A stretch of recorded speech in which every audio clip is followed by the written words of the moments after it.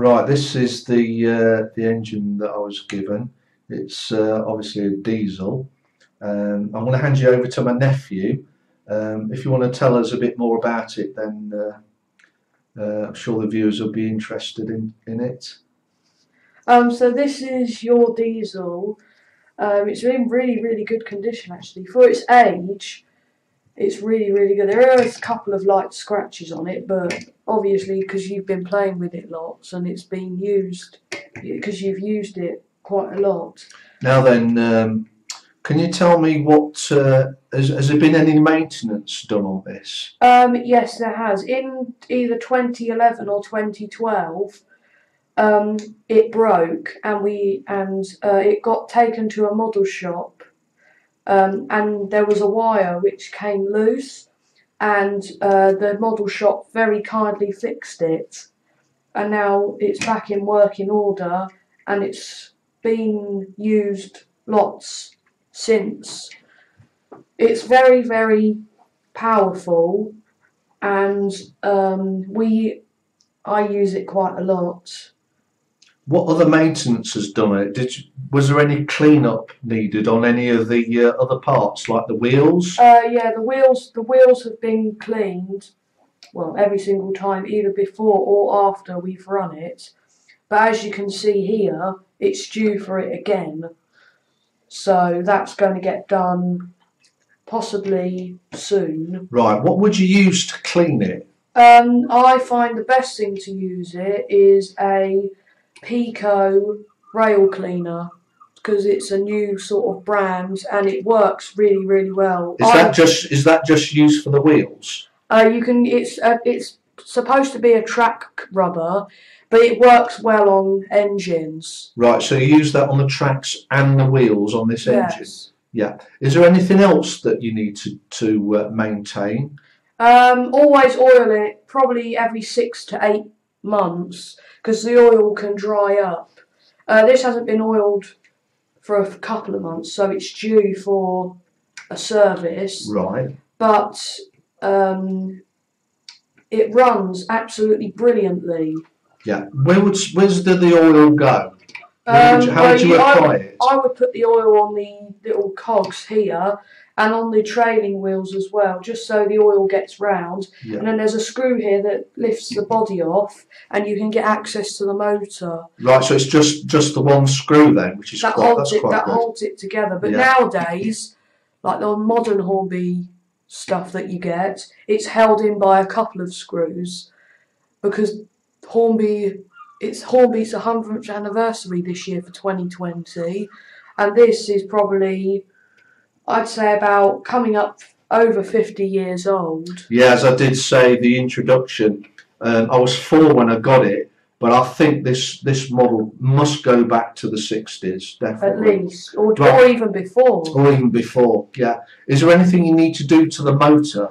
Um, Do you Do you- test it? Do you test yeah, the motor? We test. I test it quite often, but what I find is good is if when you take the body off, use a little cotton bud and go around um, the little worm drive gear and just get out all the mucky stuff from where the oil has dried out. Right, that's good. That's a good tip. we don't. Do, I don't do it all the time, but it's best to do it. yeah.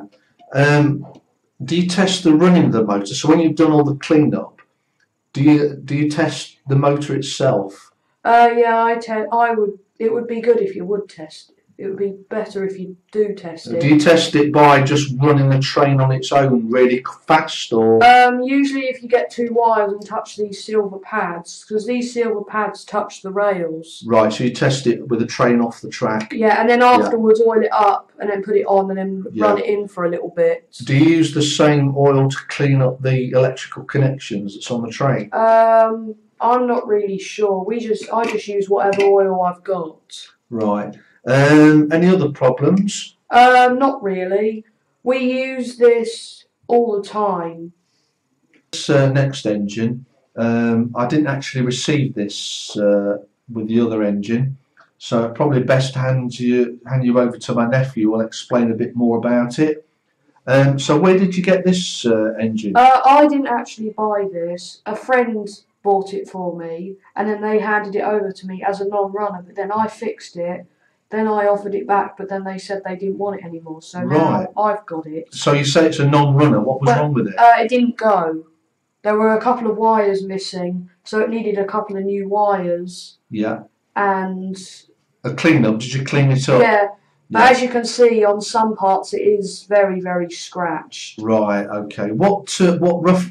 What roughly? What year was this particular Um, model introduced? Then. Do you know? Probably just slightly before the diesel that we looked at a couple of minutes ago. Right. So what? Sixties, even fifties, maybe. Maybe 1958. Ninety. So late fifties. Yeah. Yeah. Okay.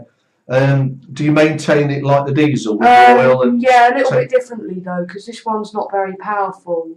Right. So what's the, Um, what would what's di- the difference? Uh, different maintenance then. Um, it needs less cleaning because it's a smaller engine.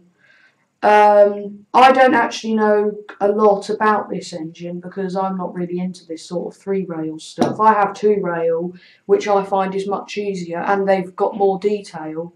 But this is my backup range of engines, and we've got two other engines, but they're away at the moment. There's Duchess of Sutherland and Duchess of Montrose. When you say they're away at the moment, are they being repaired or Um, maintained? no, they're in storage. Oh, they're in just, storage Just at the put away for winter. Yeah. Okay. Um, now that that that little set of wheels at the back that moves around That's is that unique the to the is that unique to the toy engine or is it actually exist on the real engine? Um, Because I don't know anything about this one. Um, it actually exists on the real thing. I don't actually know how many of these are preserved, but this is a class N2. Right. And what do you know what class that diesel is? Uh, that's probably either a 55. I think it's a 55 Right. Deltic, and there's a couple of them left. I don't know how many, Yeah. but there's a couple remaining uh, on like preserved steam railways and stuff. Right. Okay. Um, but yeah, this is a really, really good engine. This is mainly used in the summer holidays in our in my three rail steam and diesel gala. Right. Um, and this runs with freight, uh, which we'll move on to in a minute. And this is a really, really nice engine. Although Right. the detail is a little bit faded, Yeah. so like round here and stuff, it's still really, really good. It is. It runs okay. A bit noisy, like all like the diesel. It is due for a service in a, in the next few months, but not yet. Yeah. So you're going to service that one. Do the usual clean up on the electrical contacts as well. Yes, it's the same as what we do with Yeah. the diesel. Uh, any any apart from when it was non-running, when you got it running, has there been any problems since? Um, sometimes it's it is occasionally prone to derail. Either that's me doing it too fast, or the track isn't incorrect. Isn't the rail joiners aren't incorrectly? Yeah. So I have to go round very slowly with this and make sure that it runs fine. Right, these are some of the carriages um, and other accessories that came with the uh, that came with the railway train set. Um, you've got two passenger passenger carriages. Um, right, so has there been any maintenance done on these? Um, I'm not actually sure. Um, these are actually in better condition than what I thought they would be in, because um, you do you do get some like off eBay that are a bit dodgy, and some people don't actually put the correct description in. Um, So if you're buying any of these online, you need to make sure that look the at the pictures carefully. Yeah, Or go to a pre-owned model shop that sell them. yeah. So they're the passenger. Yeah, these are the passenger ones. Yeah, and what's the, what are the others? Uh, we've got a couple of little freight wagons here. Yeah. Uh, so this one is one that I use all the time. Uh, it's a little brick wagon, uh, and this one is an eight-wheeler thing. Yeah, I remember using that. And then we've got a couple of, uh, is it oil or Uh, yeah, this is um, this is a Esso van. yeah, Um, not in good condition. A couple of little scratches, but it's really, really good. I use it most of the time. It is prone to derail, but I Yeah. run it very carefully. do you use the same oil on the wheels as you did? I don't on any oil these because it's plastic. Right, okay. Uh, what's that, um, the other oil or petroleum one? Uh, this is a traffic services van. Oh, this one, services. this one's actually a little bit newer. Haven't had Yeah. this one as long as these. Yeah, Uh, probably had this one about eleven years. right. These I've had. Oh, so it didn't come with the original set? No, we I found this Right. at a toy fair. Yeah. It was only ten p. yeah, that's a bit of a bargain then. So it's got two guards vans there as well. I think Uh, that's a little box van, box van, yeah. I'm not roof- sure if that came with the original set. and the roof slides off. No, I don't think that came with the original set, but it looks as though it matches up with the others. Yeah, sort of. Um, this is a little guards van. I'm sure this one came with your set. Yes, it did. I remember that. Uh, I've got a couple of these. Yeah. They're stored away like the Yeah. other two steamers we've got. So apart from main, gen, you know, just maintaining them, has there been any problems? Um, no, the guards van sometimes derails, yeah, but I run it mostly with these two carriages. yeah. Um, and then there's another one of these somewhere. I don't think it's here at the moment. Um, Right.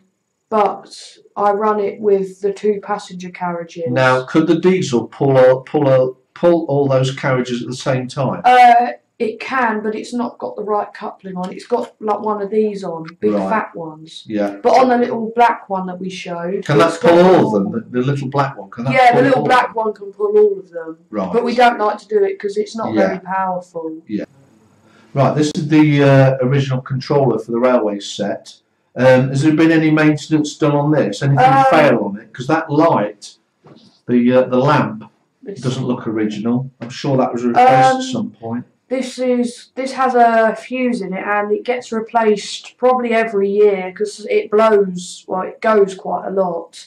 Uh, this red light, if the train's off, well derailed, and you're turning it, that noise. light comes on. It also it makes a noise, doesn't it? Yeah, It it used to scare me as a, when I was a little. It used to scare me that loud noise. Sometimes it's sometimes this controller isn't very healthy at the moment because um, when it's running, although all the wheels are on, sometimes it's flickering a little bit. Right. It needs to get looked at. Yeah. But as you can see on there, um, it shows how to insert it in because on the back, if I just turn it around, you got what setting to put in. So there's two What are the different wires. settings? What what are the settings Um, for then? That means how much voltage you're putting into the track. And what do you use for these trains? Uh, I use A and I use A for the little black one and B for the diesel because the diesel needs a lot more power.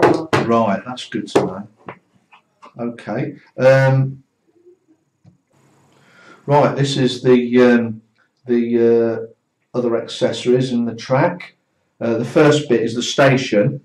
Uh, there, were actually some two sloping bits that fitted on either end, but can't trace those.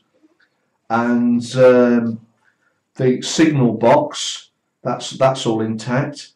Um, got plenty of three railer track. Um, as a as a lad, I felt it quite difficult sometimes to piece those bits together. Um, any maintenance you do on them? On the track, clean it all the time. Yeah. Clean it all the time because when when you clean it, it makes the trains more reliable And the- less prone to breast, less prone to derail. Mostly, yeah. Do you find the track easy easy to fit together? Uh, it, I find it easy, but some people don't. So yeah, as a lad, as when I was little, I found it really difficult to put the bits together. Do you find that any easing oil on the joints helps? Um, if you put a little bit of oil on the on this pad here, um, when you put the other pad on top, it makes it a lot easier to put in. Um, And then we got these stations as well. Then now they're not in the best of condition, as you can see. Yeah, the two. It looks a lot better. It looks a lot better with the two sloping bits on the end, but I can't trace those unfortunately. They're somewhere though. Yeah, I'll try and track them down at some point. Right. Okay, this is the last uh, piece of the three railer set. This is a mail van. I didn't actually have this as part of my set. So, what's the background on this? When did Uh, you get this this? uh, I bought this. Well, my granddad gave it to me in uh, 2007, and it didn't have all these scratches on. Well, as you can see on the roof. Um, so, uh, not much to say about this because obviously it. I don't really know a lot about it. But all I know is that when this little bar here, there's a little bar under here, and when it goes over a piece of track, these fling open. Um, this stupid thing. Um, when the mail is collected, that the mail bag drops in, and then these close, and then when it goes round again, when this opens, it flings out from here into a little carrier. Right, does it all work? It all works, does it? Uh, mostly, yeah. Sometimes it misses, or or it gets delayed, and it throws it out too late or too early. right. Um, is there any maintenance on it? Just you maintain Um, the rails? Clean this all the time because this hit catches on a little rail, and the little rail um, has electricity, and when that opens, it sends up a signal in here to open up the doors. Yeah. As um, what what year would you say Uh, that? I re- I'm not really sure. I'm going to guess probably 1963. the early sixties then. Yeah, Yeah. I guess. Yeah. Yeah. Any problems since you it? Um, since I've had it, just the, the just that it keeps derailing a lot and missing and delaying, so I have to cr- try and get it accurate for when it catches on the thing Yeah. to activate it correctly. Yeah. Right. This is my nephew's two railer set. Obviously, he knows more about this than I do. So, what's the first engine? Uh, so the first engine we have here is Mallard. As most of you will probably know, Mallard is one of the famous engines in the world. Do you run that a lot? 'Cause it's in its box, but Yeah. do you still run it? Uh, yeah, this is recently. We recently I've had some issues. It's been juddering a lot, and um, this was given to me by one of my friends um, as it was juddering. So I took it to a local, my local model shop, and they did a full strip down, clean, and service. The body's been off. It's been stripped, cleaned, oiled. You name it. As it's is it running better? It's now? running a lot better Does it now. It's judder? more healthy. No, It it, doesn't doesn't. It doesn't yeah. judder anymore. Okay. Sometimes it's prone to stall on points, but my points are quite old and they're due for replacement. Um, And then we have do you do general maintenance on that as well? What what would you do to that for maintenance? I oil it quite a lot. Every six months. In the summer, I oil it twice a day because in the summer it's hot. And it, does it dry up the oil? Yes. Yeah. So I have to oil it probably in the morning and in the evening, Right. just before the ar- just after lunch. Okay. Uh, now this next engine. Uh, it's in the wrong box. I've lost the other box somewhere. I don't Um, know where it is. What's uh, what what uh, model engine is Uh, it? that's uh, so this is Silver Link. You can't really see it. Please ignore this sticker. That's because it's been to the local model shop and it's had new traction tyres and new bearings fitted. Right. Is it running okay now? Yeah, it's running a lot better. Sometimes a bit juddery like Mallard, but runs a lot better than what it did before. Yeah. And do you use same same oil in maintenance? Yeah, but that's been oiled recently, so it doesn't need it again, probably for another six months. Right. That's good. Right. Moving on to the two rail track. Um, is this the most common gauge then? Uh, yeah, this is the same as the three rail, but instead of two, it's got a rail in the middle, like what we just showed you. And the rail in the middle on the three railers, that's obviously That's for the power, isn't it? power. That's right. Um, so, uh, any any maintenance on this two railer track because it looks in good condition. Yeah, this is new, so this hasn't been used a lot. I've used it a little bit, but Yeah. not a lot. Where would you source these from? Would you get them from boot sales or? Well, these are, I think these are, I'm not actually sure what make these are. These are Peco, and I've got to say this Peco is the best track I've ever had because it lasts over 10 years. Would you say it's, uh, It's slightly more better than Hornby? It's more sturdy than Hornby, and with Hornby tracks, after about a couple of months, it warps and it dips.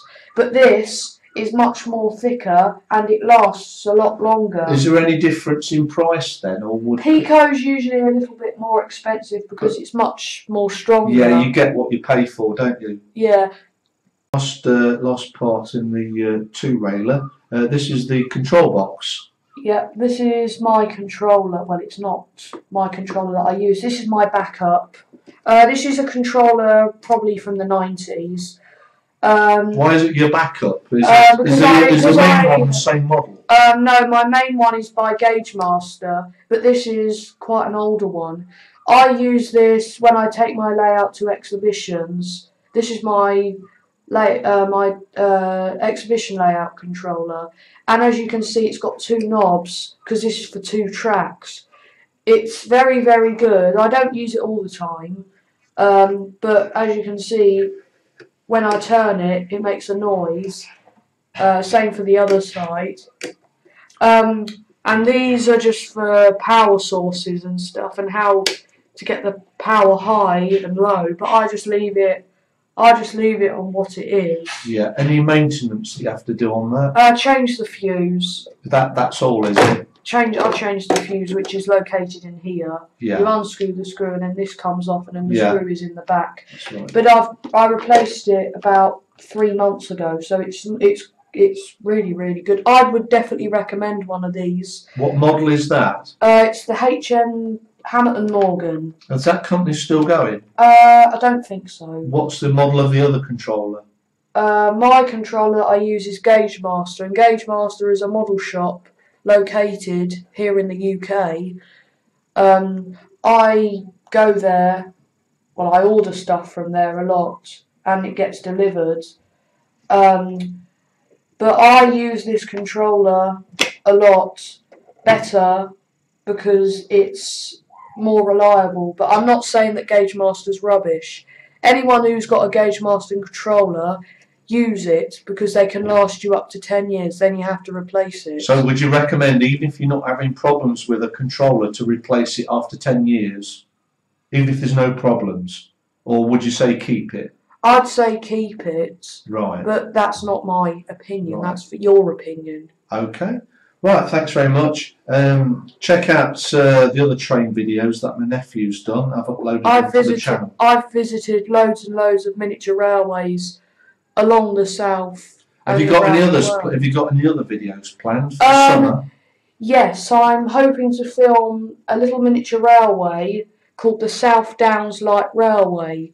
I I'm a volunteer there, and I get permission to go to una, unaccessed areas for members of the public. There's a two train day coming up next Sunday, which is Mother's Day. So if you're in the area, come down and visit. Right. Thanks very much. Thanks for watching.